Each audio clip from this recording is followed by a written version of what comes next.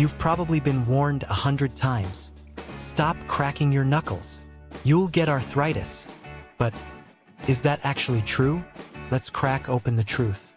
Cracking your knuckles feels satisfying, right? That pop, that little release. It's like your joints are stretching after a long day. But what's really happening inside your fingers?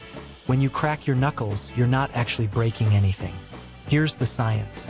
Your joints are filled with a fluid called synovial fluid. It keeps everything lubricated. When you stretch or pull your fingers, you create negative pressure, forming tiny bubbles. That pop sound? It's those bubbles bursting.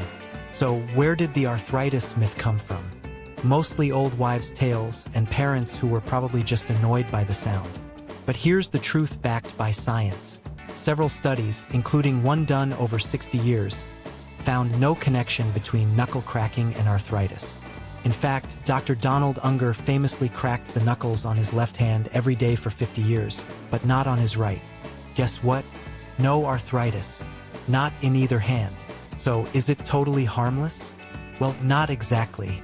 Frequent cracking might cause temporary swelling, reduced grip strength, or just annoy everyone around you. But arthritis? That's off the list.